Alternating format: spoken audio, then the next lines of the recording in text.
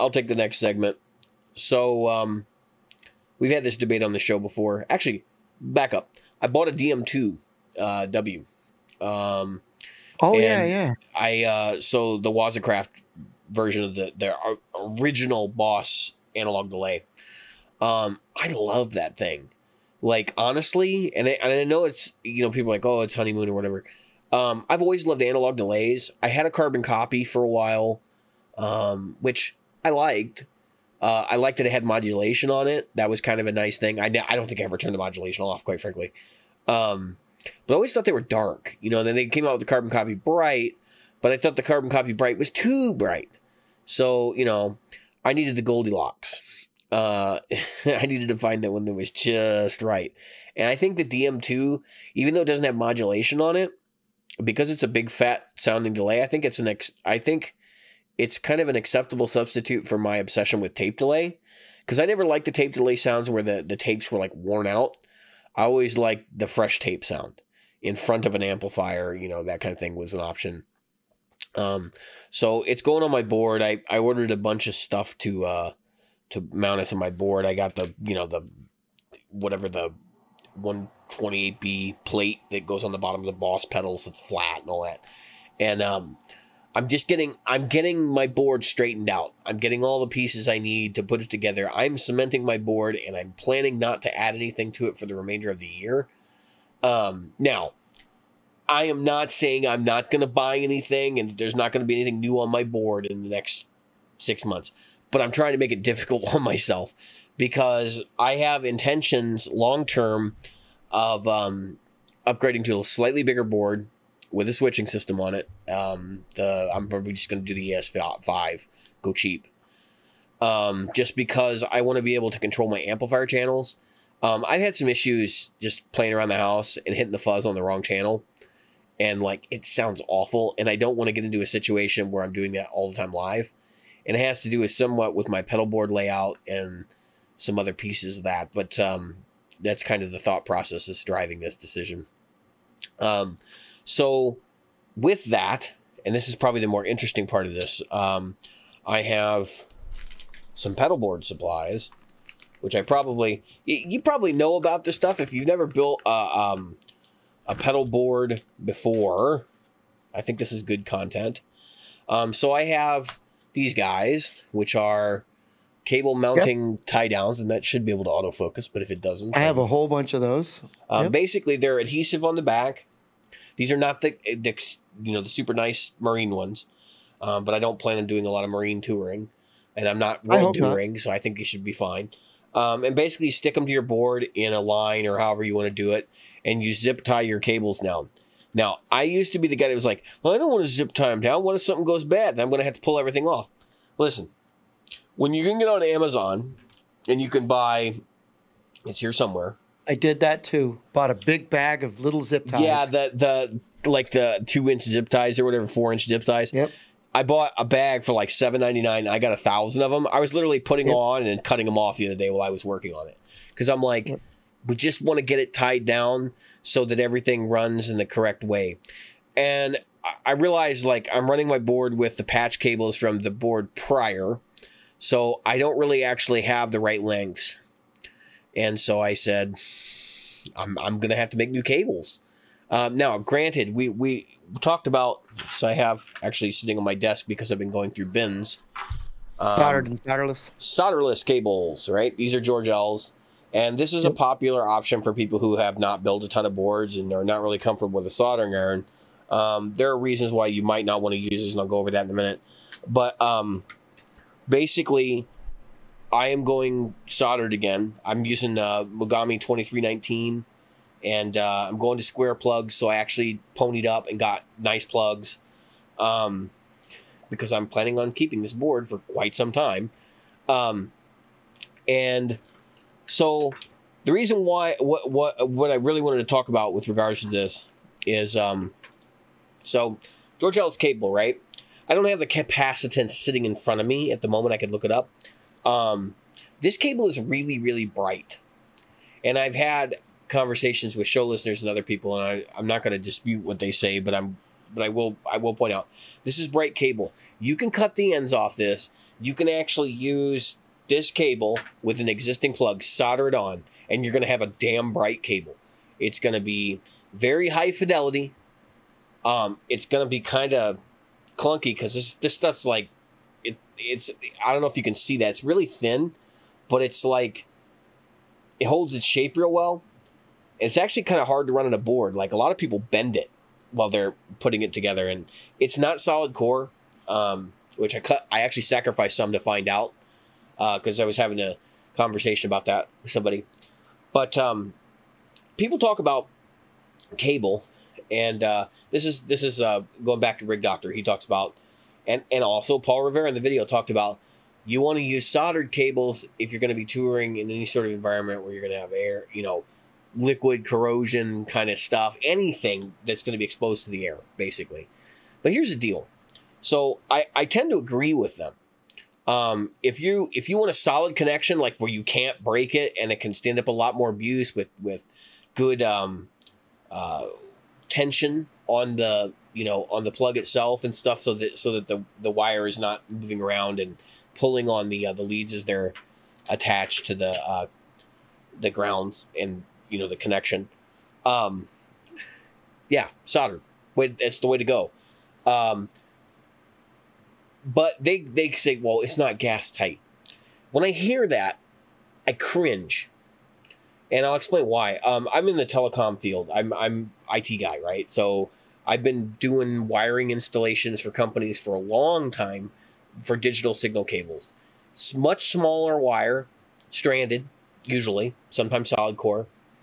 And do you know that all of your telephone equipment is usually terminated without solder? I mean, it's punch down block. All it's two pieces of metal that go like this and accept the wire and then close on it. Okay, I could tell you this from coming from uh, national telecom. Yeah. that is a fact thing. from your home, from the back mm-hmm. of your phone, and remember the old wired phones? Yeah. To the all the way through your house to the what we call the NID or the network interface device, which is where you were responsible and we were responsible, all the way back to the next tie point, to the next tie point, to the switch. The only place that's soldered is in the actual, um, anyone who knows what the switching equipment looks like, the OE or operating equipment that controlled your line, your specific line. So you had your own card, okay? That's the only solder point you had. For some people, 12, 15 miles. so to say that you can't control um, your guitar signal from, I don't know, you know, 14 feet away. I'm pretty sure you're okay. I, you, you know, you don't have squirrels chewing on it or freaking. well, so so so that's what I was going to say. So like, yeah, are they right? Yes, they're absolutely right. Like the biggest thing, the biggest problem in telecom is corrosion, right? Yep. And and specifically salt corrosion. You get in the yep. spring, those guys are so damn busy fixing like downed wire basically under oftentimes under the ground or you know up on a pole somewhere maybe up on a tower that it's like yeah i see I, I i totally understand and respect their opinion on this but I also think that those are totally and vastly different circumstances where that stuff holds up really freaking well. And I want to point out something else. Stranded cable, we just mentioned that, right? That's not a gas tight connection. You can get corrosion anywhere, including on your solder joint. So, why in the yep. hell would it make a difference if it's on this end of the electrical system, this end of the electrical system, this part of the electrical system or this end of the electrical system. Corrosion is corrosion. It doesn't matter. That's right. It doesn't matter. That's absolutely right. And so, I mean, I get it. You want it because some jackass could pull on your soldered cables real hard and pull the tips off if they're if they're you know pulling them with a truck. Um, that could be a problem, but you're not going to like a mechanical connection like solder is going to be tougher than that. And that's basically what it's about right? It's about stability here, not necessarily the corrosion as much, which is what I was.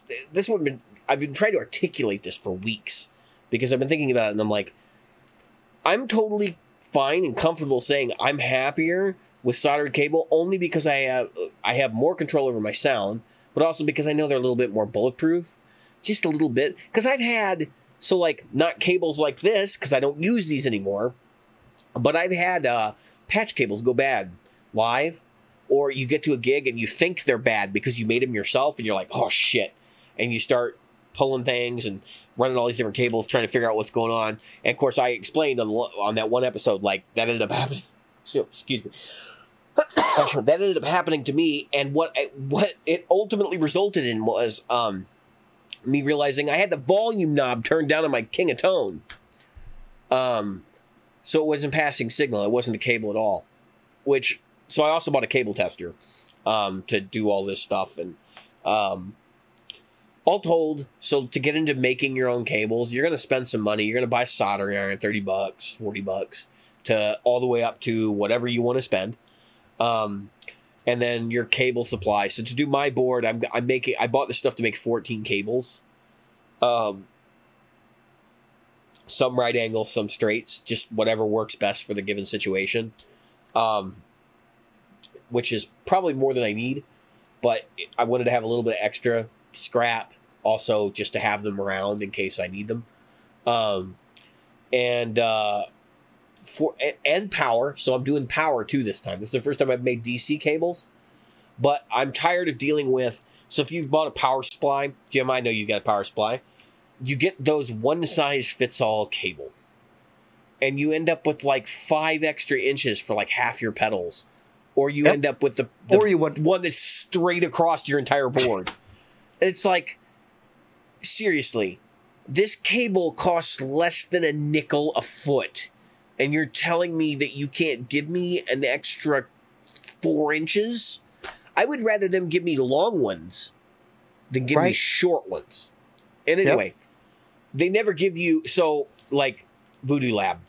They give you all their uh they give you like four corner corner jack ones and then they give you like four straight ones and then the corner jack ones are a different length than the straight ones. And then like they also give you all these like mis you know mi- uh, like mishmash of other cables, and then you can buy additional cables direct from Voodoo Lab. And I'm thinking, I'm looking at the prices number one, and I'm going, holy crap! You know these are not that expensive, and on top of that, they're not going to be the right damn length. I'm going to end up with a 24 inch, you know, not nine volt cable for a pedal that's only eight inches away, like kind of deal and or, and or vice versa. I'm going to have to get the nine inch cable for the pedal that's like 18 inches away. Um, and it just doesn't like it, it ends up just making everything a mess. So I have like four pedal boards worth power supplies worth of cables laying around, and I still was struggling to find the right connectors and connections. So I said, screw it. I'm wiring my own power. Because I said, at this point, I can buy soldered DC jacks and I can have them perfectly aligned. Um, so that's what I'm going to do.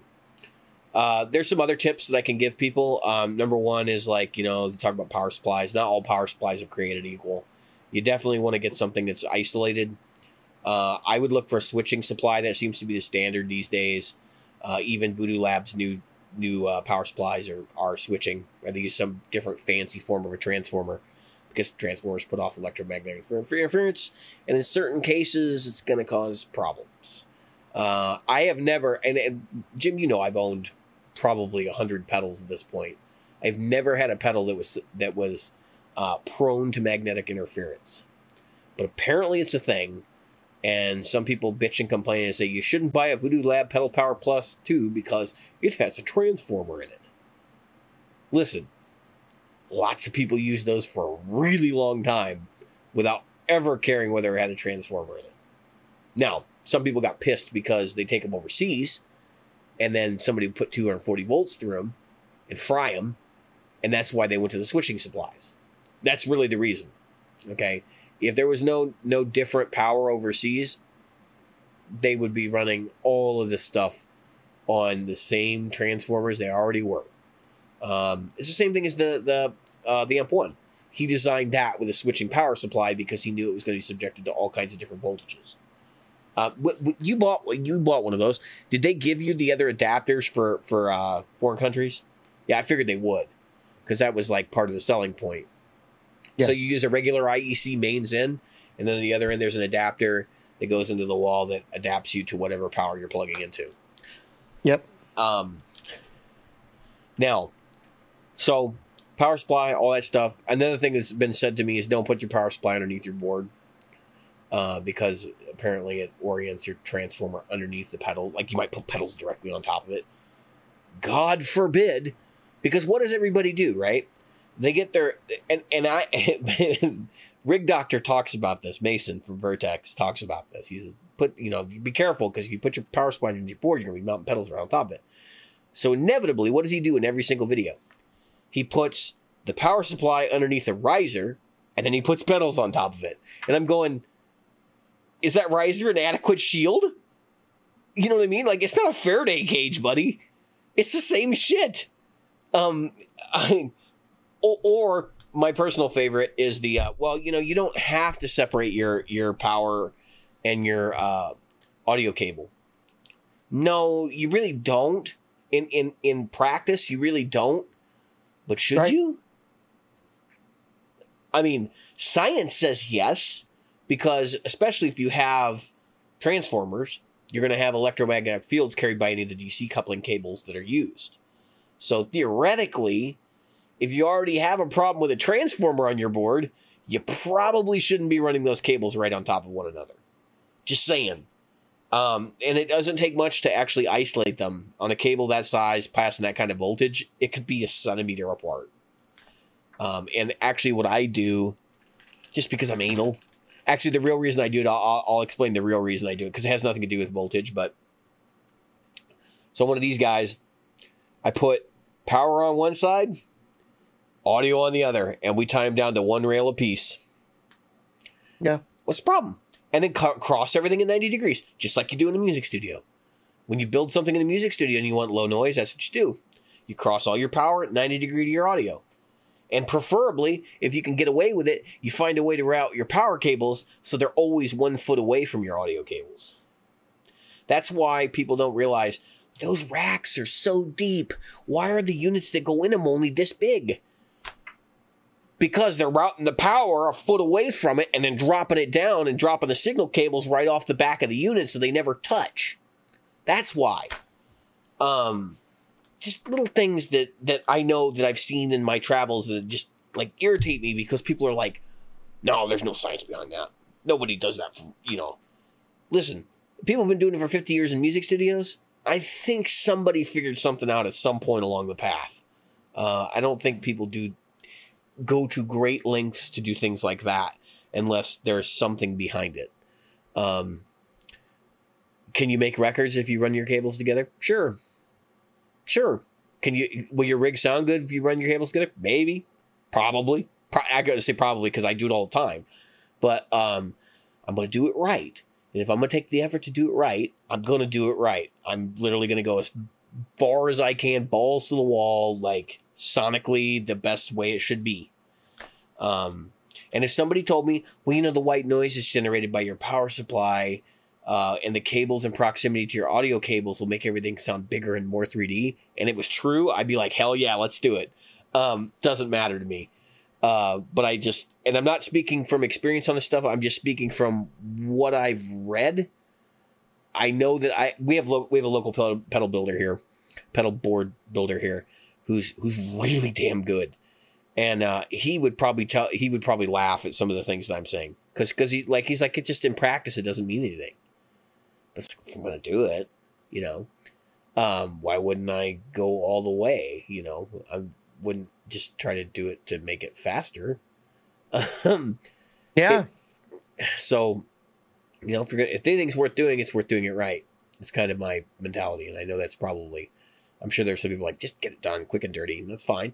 Um, and if you've got those kind of gigs where like, shit, you're gigging three nights a week, and you got to put your pedal to, pedal board together the day of the gig, yeah, of course, absolutely. You know, burn burn the uh, the the candle at both ends and get it done. But uh, in my situation, it's kind of like, I got the luxury to do this, so I'm gonna. Um, there's a lot of myths. Jim. I mean, I guess that's what I'm what I'm pointing out there. I'm sure a lot of this stuff you maybe you never even thought about. Um, because Well- yeah, you got a couple boards now. Yeah, I mean, one of the things that that you got to remember when it comes to bleeding frequencies is it's got to be pretty high frequency. Sure. So you know about as much about a twisted pair as I do. Um, the cable that they use to send your guitar down, not likely to to go over. Now that said, that possibly the power could if it's got if it's got AC riding on the DC power. Right, um, right. You can Or bad ground in a pedal or something like you'll Yep. have to have something wrong in the system for there to be a real issue. Right. So, but would I sit there and wrap them together? No.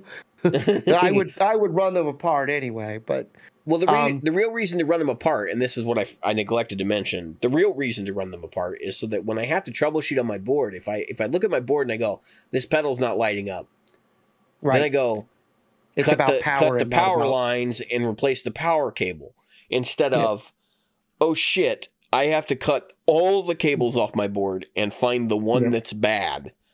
You know what I mean? Like it, it would be better to have them separate just for that reason alone. I go um, the extra length of actually color coding the two ends hmm of power. Um, I do that too. I don't need- Label them. yeah, I don't need to do that to the to the the audio cable because it's obvious that typically it's going to be the pedal next to it, or I'm going to know if it was weirdly done. So that's not a problem. the The thing that um, I like to do personally is I like to run. Um, uh, you know, I'll use this little. It's just this little piece of electrical tape, literally, and I have seven or eight different colors and I color code them. And then just like in a resistor, if I have to have two reds, I just put a black ring with a marker around the two ends of one of them. And then, you know, because that's how resistors, you know, Yeah, right, right, It right. you know, you use color coding on a resistor to see. That system um, is such a nightmare. Yeah, and it is. But this way I know, okay, that one's feeding this one and that, you know, so on and so forth. So, but we, you know, I think we have a similar um, way of looking at that. Um, Um, go ahead. there was so there was another piece of this. Um, so along with the power and flexibility and understanding that like something breaks, the good reason to keep your solderless cables once you've graduated out of these guys is if something breaks. Because if you have 10 foot of this in your bag and two ends, Yep. you Click, can click. cut a cable and you can just zip tie it right on the top of the board or something and get through the gig. And they're flexible and they're small, so at least it's not a horrendous fix. But in a pinch, okay. Um, I have hundreds of dollars worth of George L's leads, like the the ends and stuff. In fact, I totaled them all up. I was going to sell them at one point. I haven't sold them yet. I am going to sell them, um, and I will put them up in the group when I do. Uh, I would still be using George L's for certain applications. Like if I was a country player, because I'd want all that treble. Uh, yeah, George L's, man. Uh, I even just the cable is like gold for that. I I I have never used a cable that is as bright as George L's, and it was borne out in the capacitance numbers when I evaluated uh, what cable I was going to move to. So I was looking at Mogami, I was looking at Belden, Canare, and Gotham, and they all make different products. But I was looking at a different, a couple of different varieties, and I went with Mogami um, because it has uh, a warmer sound because the capacitance bears it out, and actually it does. It's a much fatter sounding cable because there's no treble to it. It rolls off a lot of it. It's not as bad as a coily cable, uh, not in any way. But you'll definitely, if you run 10 feet of it on your board, you're going to notice.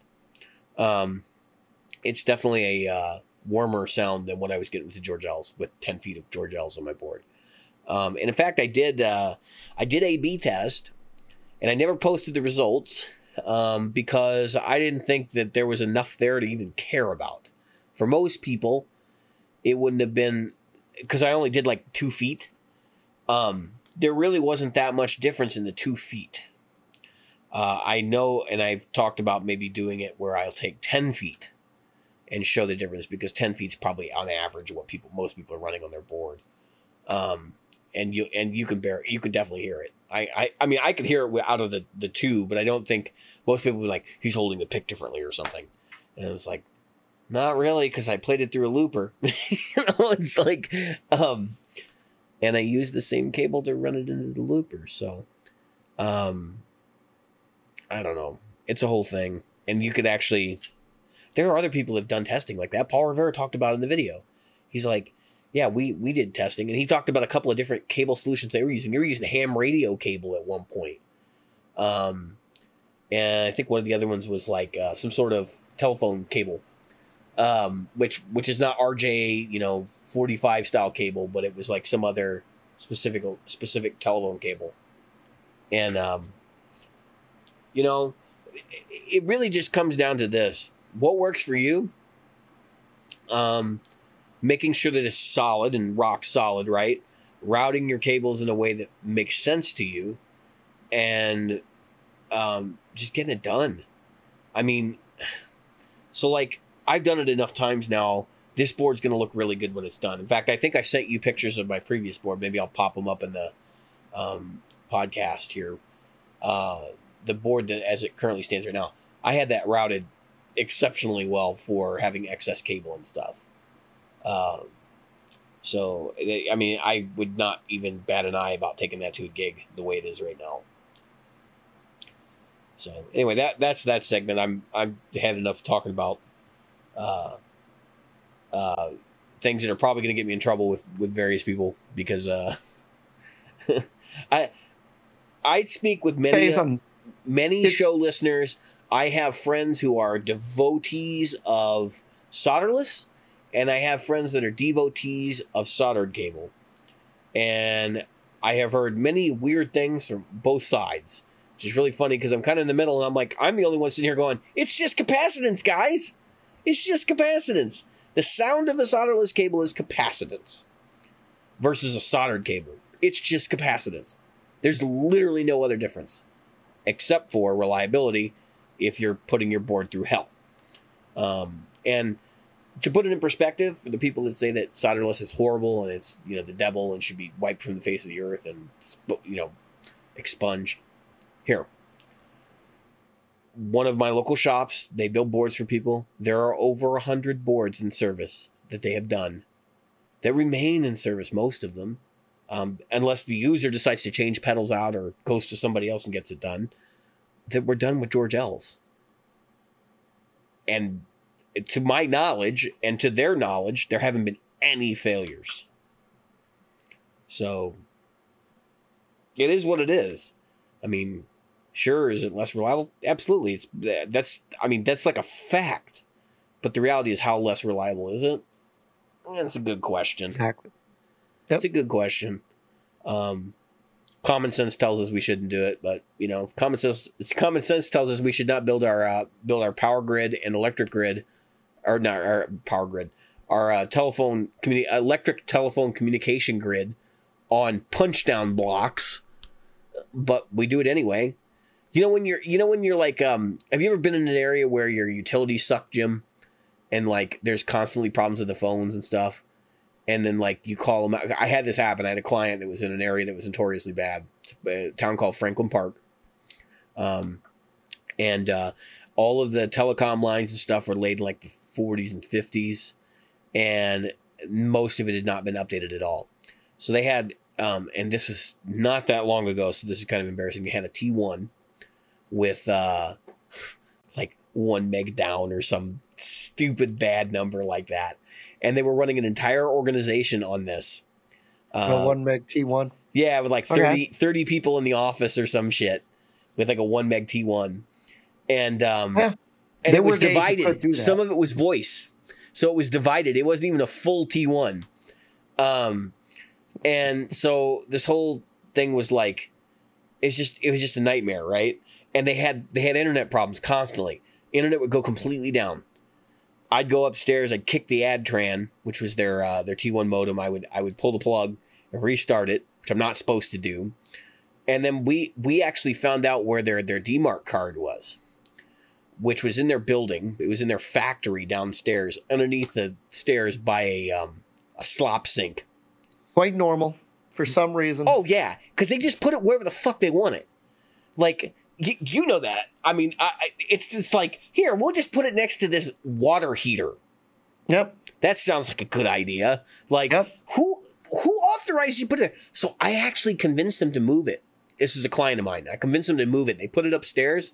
Next tech comes out. He sees it upstairs. He's moving it downstairs back to where it was. I'm like, are you freaking kidding me? He brought it. He brought in a new cage to hold the, the cards, and I'm like, I just sat there and I shook my head. I was like, this is this is about par for the course, right? But um, they told me one time they came out they had the panel off the wall and I could see all the punch down block inside and they had all the tags for all the different neighbors and stuff. And uh, whatever, you know, lines they were connected outside. And he was just he was just pulling the lines out. And I'm going, "D- people are connected to those. He's like, who gives a shit? I'm like, uh, okay. And he was basically saying like The people on the, the lines in this a- the lines in this neighborhood are so bad. He's like, we just redo them when we open these boxes up. And and he was like, uh, he was telling me like, he pulled, showed us our line. There was like, I mean, you could see visible rust on it. And he's like, yeah, we're gonna replace this. You're gonna get your, you're gonna get the guy next doors. And then when he complains, their their people are gonna come out, and then they're gonna swap it for the guy next door. you know, and it's just gonna be this big like, everybody's gonna be swapping it until they finally come out and lay new cable. And Yeah. I just sat there and I just put my head in my hands, and I was like, I was really young at the time. I was probably like 25 years old. So we call just- it swapping pairs. Yeah. Yeah. It's exactly what was they're doing. normal. And they'd come out and they'd do it every three months. Something would happen, and every three months they come out and swap pairs. And I know Mm-hmm. Until sometimes somebody- we were getting swapped, which is why All you we were all you've got to do is contact the SEC and say this has got to end. We need because believe it or not, they want to do the right thing. The problem is budget. But when the SEC says to do it, now they can go to the state and they can say, "Hey, we need to do this because they might they might need right of way because they might need to pull cable through some new, new uh, conduit or whatever." and in our state, It- it- there's, a, whole lot.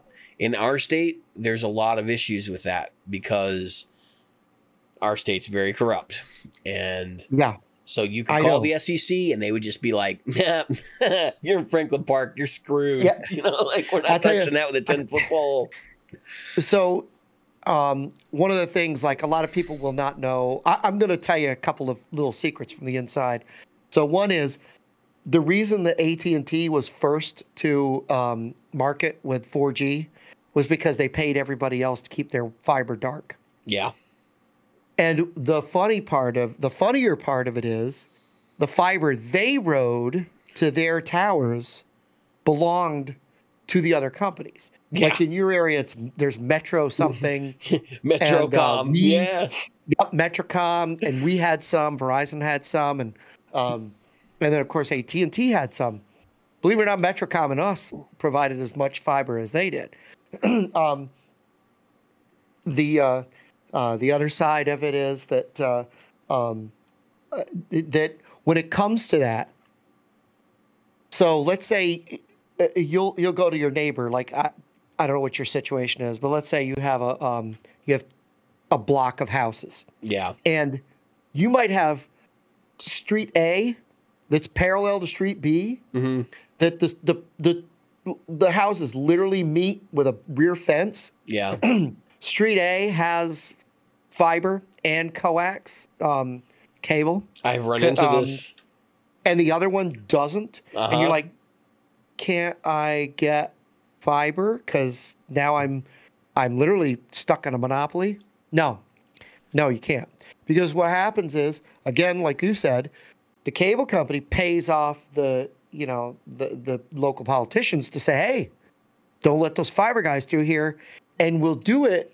We'll word it in such a way that it looks like it's because we're saving some freaking rare squirrel or some dumb shit like that. When in reality, their freaking lines are running right through there. There's a piece of conduit already there. The fiber, which releases absolutely no EMI because it's fiber, which is glass and light.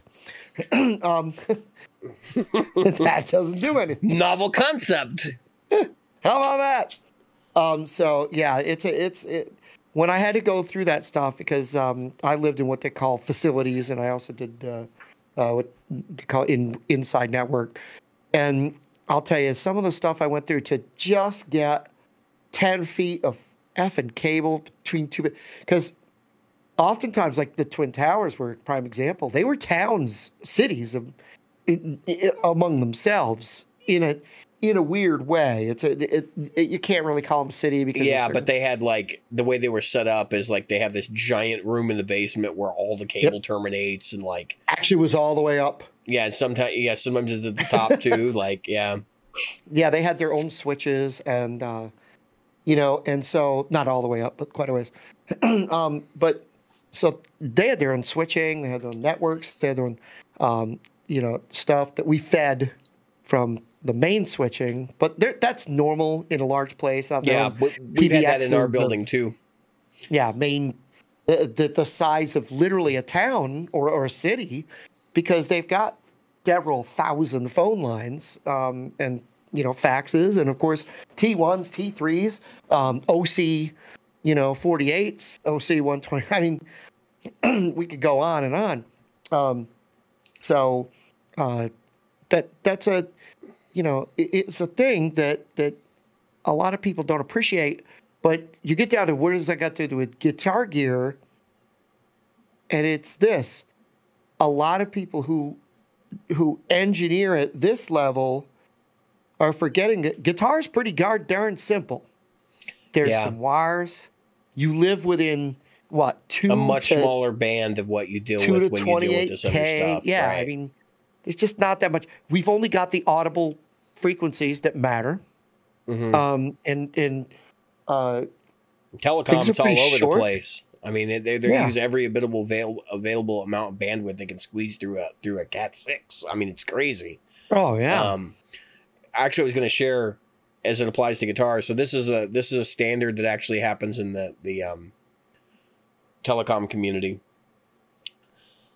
You're not supposed to run Cat five or Cat six within a foot of fluorescent lighting. Yep. Now, unless you're in a really fancy office building where they actually hang a plenum that the cable Yep. sits in, and that plenum has been designed to be a foot away from the fluorescent lights, I am Yeah, willing to guarantee you your building is not spec. nope. And do you have network problems? Ask yourself that. Do you have network problems that are like, Yeah. You know, indicative of just network, like general network mischief? Because it's be like drop packets and things like that. Probably not. Exactly. In fact, I had many, many clients where I would come out and they'd work on their network, and I never took a look at their wiring until something blew up, and then it was like, yeah, we probably should rewire this for you because you guys, whoever did your wiring, just ran them right over the fluorescent lights up there, which is a fire hazard too. But um, but it's like people seem to think that guitar equipment and gear and signal routing and all that stuff is like because because it's their hobby. They get really really freaky about it. You know, it's like, my God, I have to use this. You know, this this five hundred dollar Mogami cable with gold plugs. It's like, guys, wait a minute. Do you think anybody in the '60s was using a five hundred dollar Mogami cable with gold plugs? And get that's the sound you're after. Like, what the hell are you on? Um, and also like like I just said, it doesn't really matter what the spec says because there's just differences. I can tell you this: this cable, even though I said it was really bright and it's all capacitance, it does have a frequency curve to it, and Mhm. it- like the mid range will be different from cable to cable, regardless of the top end, and you can hear that. So I, I want to, I want to kind of back things up a little bit. I I can talk till I'm blue in the face about like, you know, is this a solderless solder versus solderless conversation? No, it's not really. It's more about just finding what works for you and doing it in a way that makes sense, rather than I've seen so many flat boards with people using HOSA cables, and like uh, HOSA cables. Okay, so depends on the HOSA cable because the cheap HOSA cables are awful. Some of the more expensive ones are okay, but you're going to end up with all this extra shit to deal with that you don't want to deal with. So spend the extra five bucks. Yeah. There, are, I, Jim. um, as we close this out, I want to leave with with this in mind. Ernie Ball. Um, there's another company that's making flat patch cables. Those are great. Um, But Mhm. Ernie Ball makes them as well.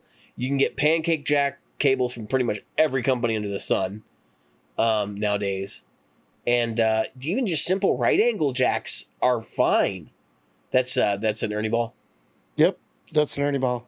You can get a three pack of these, super cheap, cheaper than Yeah, they're like twelve bucks. wireless flat. It's definitely cheaper Yeah. than what I'm going to make. Yeah. One hundred percent. So Um, Yeah. So you know, just buy some decent damn cables. Uh, Yep. I I will say this: I've had my negative experiences with solderless cable vis-a-vis friends and stuff who've had like lava cable, and it's cheaper than George L's. Well, George L's was Yeah. the first on the scene, right? George L's is premium stuff. They got people like Eric Yep. Johnson backing them up, and they went Mhm. out and they you know, oh yeah, so now there's lava cable, which is like two dollars cheaper total per cable. You know, it's like guys, it's two dollars. I It's two dollars. so I, I had a little. I, I'll. I'd like to dovetail on your cable thing. I was Yeah. at the store. I was at Guitar Center uh, waiting for my lesson, and uh, this guy comes in. He goes, "Oh, that's really funny. Eighteen point six feet." And he goes, uh, "Geez, they can't give me one more foot, or you know." And I'm like, "There's a reason it's eighteen point six feet." Because it's three inches extra goes- on either end. What? He goes, why? I said, because that's where you start to get high end loss. So if you have 18 point, or, or if you have um, 17 feet, you're going to notice the loss for sure. So 18.6 is where Ah, they can safely go, okay, we're not going to have signal loss. I um, never thought about. I never thought about that on those particular pieces. But you're absolutely right. Um, I've actually seen situations where they will, they will. So like this is not a good example because the right angle like literally terminates right there. But they'll Right. say, let's say this is an eight inch cable, and they will Yep. measure the quarter inch jack Yes. and say Yep. that's you know part of the That's part, of the part of the- measurement. it's like Yep, it's not really eighteen point six. It's only eighteen. The other three inches are Yeah. inside the quarter inch. and that's right and that's it yeah and so the guy goes and i said that includes the tips and the guy goes is that real? And uh, everybody was like yeah yeah it's real. As a matter of fact um, uh, i know that that uh, uh, brian wampler did a whole show on talking about how you have signal loss. He goes he goes i don't re- recommend cables much longer than 18 feet as a result. So he likes to keep his his under 16 feet. It ha- it has to do with uh, the capacitance again. So Yep. at a certain length of you know you have more roll off in a specific range based on the certain length of footage and there's a there's a number you can use but but the vast majority of guitar cable will go 18 feet and then you'll start Yep. to have signal loss after 18 feet. So everybody who goes to the store and buys 20 foot cables because everybody does it right. I have probably five 20 foot cables and the reality is I've already shot myself in the foot right? If I'm looking for every p- bit of information coming out of my guitar, um, really anything over 10 foot, I've shot myself in the foot because at that point there's so much capacitance that you're losing something. You may not be able to audibly hear it, but you're losing stuff. Right. And now those just a country fact. guys yeah and a lot of those country guys that's the first place they're going to notice it is Mhm. that high end um because that's what they get Well, if they can Oh. still hear it. There there there is definitely a questionable thing. I mean let's face it there's always that questionable um, point um, that is it really worth the argument when it comes to uh, you know live performance versus what i hear on stage and blah blah blah blah blah. And i look at it this way because we're coming up on our hour Yeah, well let's let's let's do one more 15 minute segment and I already know what we're going to talk about. But go ahead. Okay. Um, and uh, uh, I'm going to say this. Even if you can hear it, and, and it should, there's there's there's two things to think about. There's one, it should the sound you hear on stage should inspire you to play. I know this. If I can't hear my guitar, I can't play.